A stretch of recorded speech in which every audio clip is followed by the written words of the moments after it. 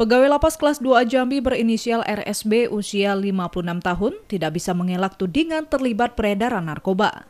Pasalnya ia ketangkap tangan membawa ganja seberat 1 kg ke dalam lapas. Kasus ini terus diusut oleh aparat Polresta Jambi, dibuktikan dengan diamankannya dua orang tersangka.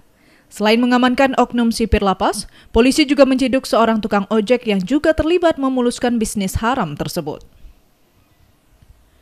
RSB merupakan sipir yang menjabat sebagai pembina bengkel di lapas kelas 2 Ajambi. Aksi menyelundupkan ganja kering seberat 1 kg dilakukan oleh RSB pada Sabtu pukul 7.30 waktu Indonesia Barat saat berlangsungnya apel.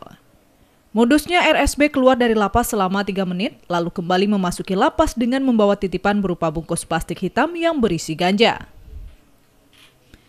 Sepandanya RSB berusaha menyelundupkan ganja. Aksinya digagalkan oleh petugas jaga di lapas.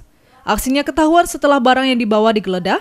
Kepala Pengamanan Lapas kelas 2 Jambi yang menerima laporan kemudian menghubungi Kepala Wilayah Hukum dan HAM Jambi.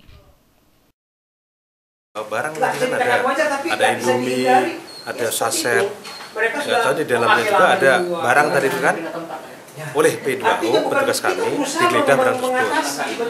Setelah dicek, diduga barang tersebut kan? itu tadi beliau sampaikan kan? Diduga pengganja bang? Ya. di dalam lakban. oleh petugas P2O diserahkan kepada Pak Kalapas kami. gitu.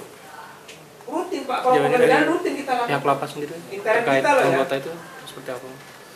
Itu nanti kebijakan beliau Pak Kalapas. halus mudah disembunyikan. Kalau dari hasil penyelidikan barang bukti ganja yang diselundupkan oleh RSB, rencananya akan diberikan kepada dua narapidana kasus narkoba berinisial R dan M. R dan M diduga merupakan pengedar narkoba di lingkungan lapas. Kita proses sesuai dengan aturan yang berlaku. Kalau di penglihatan sementara uh, barangnya apa, Pak? Ya? Kalau dari penglihatan mata. Kalau bentuk fisik ngelihat begini, ini ganja. Ya? Diperkirakan ini kalau satu bata ini sekitar satu kiloan satu kilogram ya untuk status ketiganya sekarang gimana Pak? Untuk sementara kita amankan, yang dua sudah kita lakukan pemeriksaan dan sudah kita kembalikan ke lapas karena status yang bersangkutan adalah napi.